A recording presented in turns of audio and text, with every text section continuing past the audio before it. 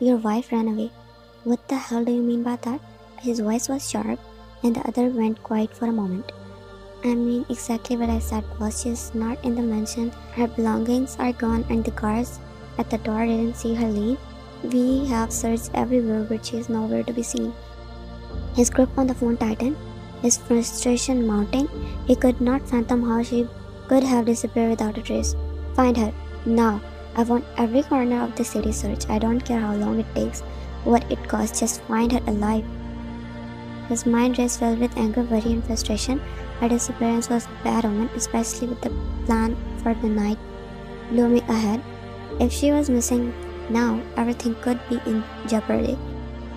His perfect laid out strategies could crumble at any moment.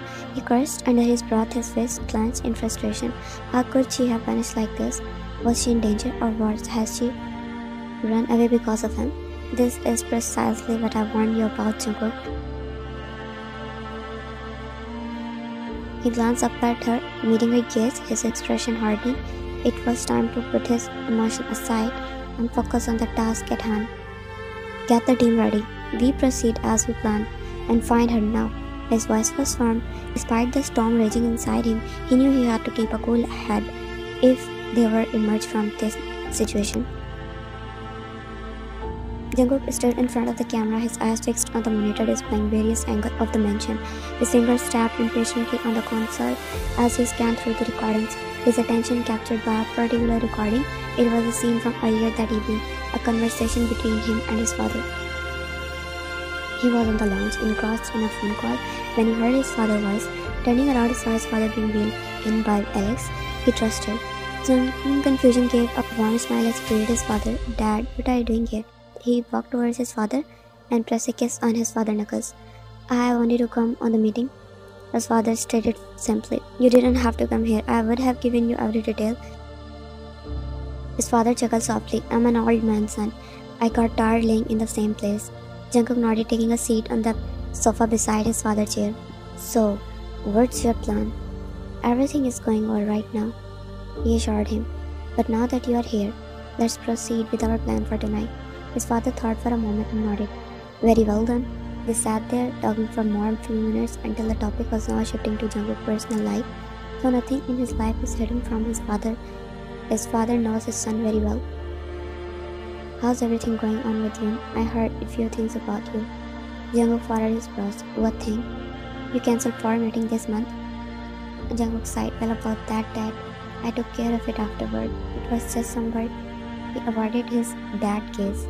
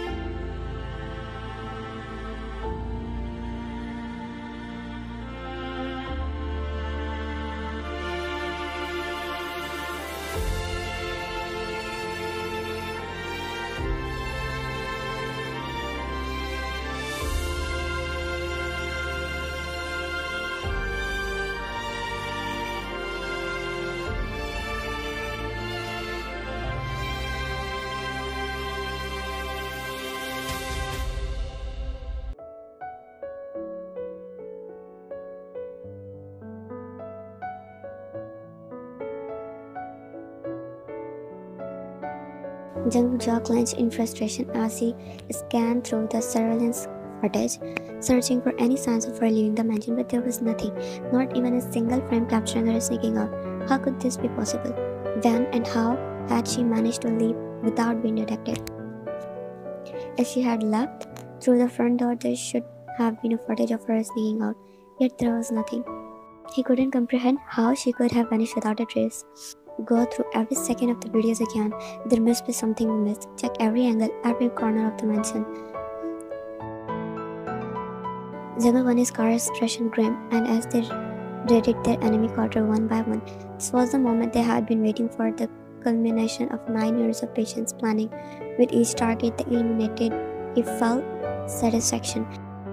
Their enemy, the one who had wiped out the existence of Jeon family, who had taken everything from them, Jungkook could not forget those nights when he witnessed murders, when he watched his loved one dying in front of his eyes. The image haunted him. They destroyed everything his father had built, reducing it to rubble. They had nothing left, not even a semblance of the life they once knew. But from the ashes of their destruction, Jungkook vowed to rise again. Starting from nothing, they rebuilt their life. Brick by brick, he refused to back down to let their enemies win. He was determined to exact vigilance to ensure that every person who had caused them pain paid the ultimate price. And this was just the beginning. He would stop at nothing until the last trace of their enemies was wiped from existence, just like they did. His phone rang and he quickly answered, hoping for some news from Alex. What happened? Do you have any news? No, sir, we are still looking. Jungkook cursed under his breath. Okay, he said shortly before cutting the call.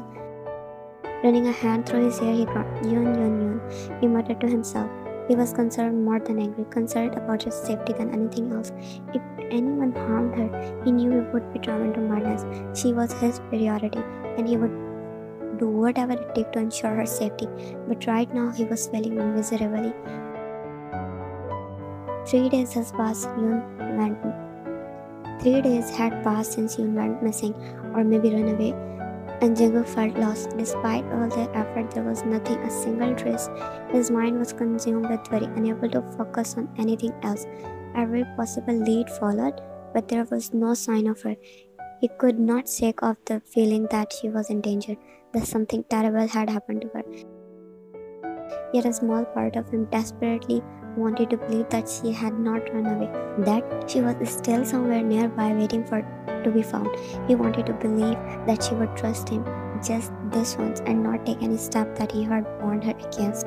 His mind was messed, and on the top of that, he had been engaged in a mission to wipe out their enemy's existence, but it was proving to be a formidable task. Their enemies were fighting back fiercely, and Jungkook had lost many men in the process. Each day brought news of more life lost, and in the back of his mind, he couldn't shake the feeling that something was amiss. There was a nagging feeling that they were making mistake, but he couldn't pinpoint it. Their plan was smooth, clear, and strong. They already surrounded the enemies and they thought that the victory was there because no one would imagine the attack, yet Jungkook felt like their foes were already prepared. Jungkook had believed himself to be the one step ahead, but now he is not really sure about it. The door to his office swung open and Jungkook eyes shot up to see Alex stumbling in, his condition immediately alarming. His brows furrowed as he observed Alex's bloodied hand clutching his shoulder, and he rose and he shot up from his seat. What the hell happened to you? Alex breathed heavily, his words coming out in gasps as he tried to explain the situation.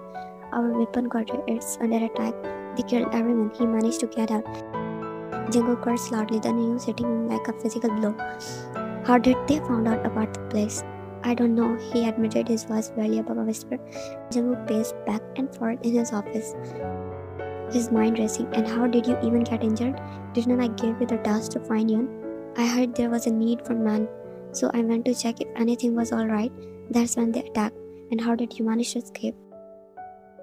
I was lucky, but I got shot in the process. Jungkook browsed forward as he listened to his words. There was something off about the whole situation, but he couldn't quite put his finger on it. We need to find out how to find out about our weapon quarters. Anything I can find out. Keep eyes closed on everything and don't let this happen again. Won't let you down again, sir. Get yourself patched up. He, struck, he instructed his stone suffer now and then get back to work. He bought and immediately went away from there and Jungkook took his phone out of his pocket to make call someone. Jungkook exterior remained calm during the ride, but his mind was in chaos. It had been four days since Yoon went missing. Four days and finally they got Manju. At a midnight, one of the Jungkook men entered his room telling him information, multiple instances of missing footage from the mansion security cameras. It was the first tangible lead they had since their since her disappearance, and it pointed to a traitor within them, a traitor in his own mansion. It was unthinkable, yet the evidence was glaring. They had identified two locations from the clues found, though Jungkook could not shake the feeling that it might be a trap. Still, he refused to sit idly. When his phone rang, Jungkook wasted no time in answering. The other, the voice on the other end belonged to Eugene, one of his trusted men. Sir, we have reached one of the locations, but there is no one here. The place is empty. Jungkook gripped tighten on his phone. Of course, it had to be. Keep searching. There has to be something we are missing. I want every inch of that place thoroughly checked. And be on alert. if We don't know what we are dealing with. He cut off the call. Alex looked at his boss. He patched his wounds and he accompanied his boss. Sir, we are walking into a death trap. We should be more careful. Isn't it a bad idea? But if Yun Mom actually ran away? I mean, it's been days and still no sign of her. Maybe she didn't want to live here anymore. Jungkook glared at him, making him instantly shut up. Every idea, every plan, every setback only fueled his desperation to find her. He could not afford to lose her, not now, not ever. Worse, that's all they are. We can't afford to entertain doubts now. We have come too far to back down. We will continue with the search. We leave no stone unturned until we find her. And Alex, don't forget your place again. He said and finally gave him one tense glare, and Alex nodded, immediately keeping his mouth shut.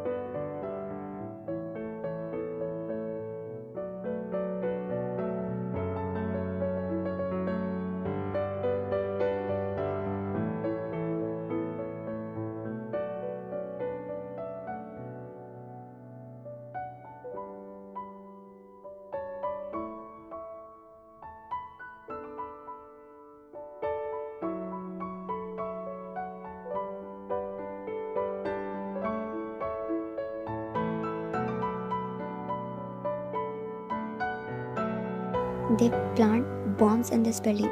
We need to get out of here now. But Jungkook had already made up his mind. I'm going up. No, sir, we can't split up. It's too dangerous.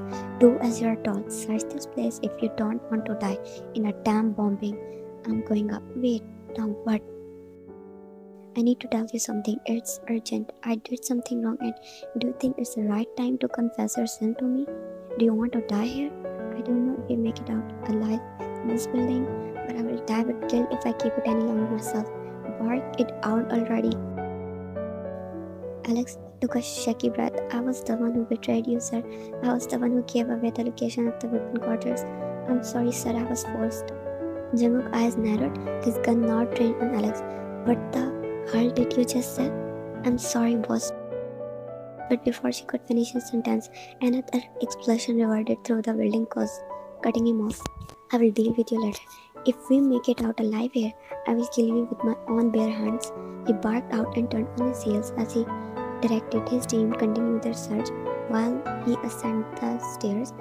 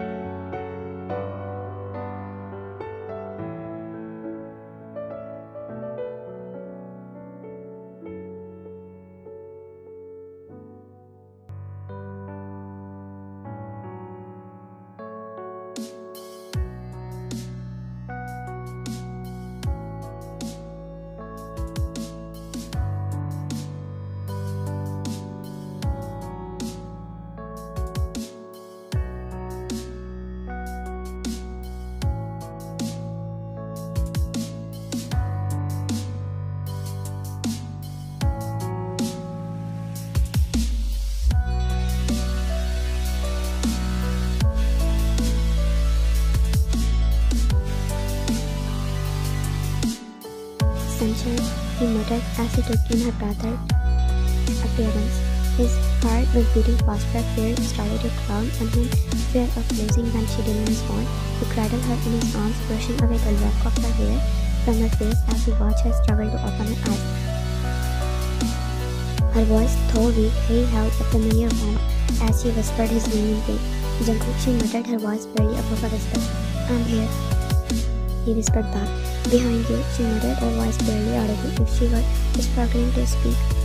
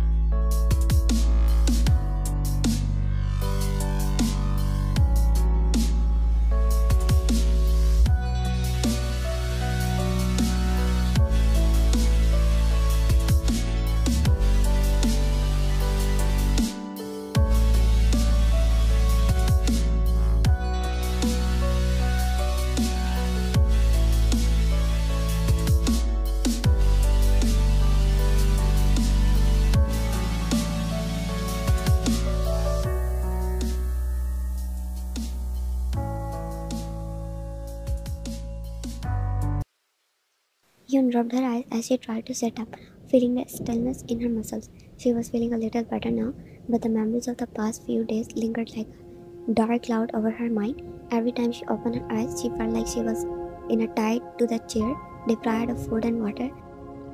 She glanced around the room, her heart sank at the familiar sight of the mansion walls. It's been two days she brought back here. Now she is feeling much better, but she tried to escape this place only to find her back in the confines once again her bad luck. Annoyed that you are back to the place you tried to run away from, Yoon flinched at the sudden sound, her heart racing as she looked up to see him sitting on the sofa, his legs crossed, expression stern. His presence alone made her want to shrink away, to hide from the intensity in his gaze. Despite that, she summoned her courage to meet his gaze. Yes, I am back, she shot back. It doesn't mean I will stay here any longer. He ignored her words as he walked towards her. How are you feeling? He asked, his tone surprisingly, surprisingly composed. Better, she said softly, avoiding his gaze as she fitted with her fingers beneath the blanket. She was surprised he didn't burst out on her, but she knew he would soon. She had been testing his patience, pushing him to his limits. Jungkook quietly took her hand in his. He began to remove the bandage from her wrist, her heart flirting nervously in her chest. He was awfully quiet and it was un- unnerving. As she as he changed her bandage, their eyes met. Yoon saw she could see the turmoil in his gaze. His, his eyes moved towards her cheek and she felt the lump form in her throat as he removed the patch bandage from there as well. She gulped nervously as he applied the ointment. Does it hurt? Not much. Good. She avoided his gaze, her eyes flicked, fixated on her lap she didn't know what to say, how to act in the situation. He finished tending to her injuries and leaned back. She shifted uncomfortably under his gaze. You are lucky to be alive, he said, finally breaking the silence. She didn't respond, unable to meet his gaze. She, she knew she had put herself in danger by attempting to escape, but she surprisingly couldn't bring herself to regret it. You wouldn't say anything? Jungkook questioned, his voice calm. Yoon furrowed her brows, meeting his gaze. What should I say? He tilted his head slightly. I was expecting an apology. An apology? For what exactly?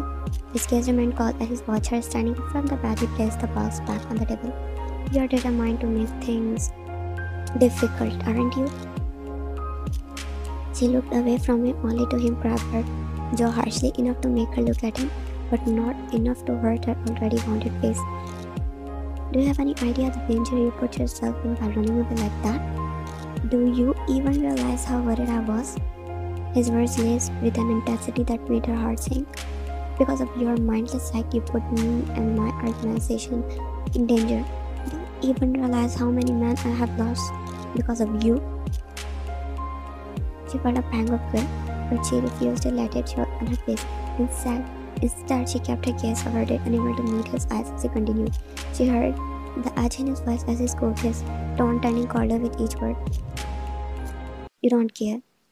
He stared flatly, his tone laced with bitterness, his grip loosening as he stepped back from her, running his hand through his hair. You don't care about anything other than yourself. Maybe you're right. Maybe I don't care about anything other than myself, but can you blame me, Jungkook? Can you blame me for wanting to escape this suffocating mansion? Yes, I can blame you. I can blame you for putting yourself in danger.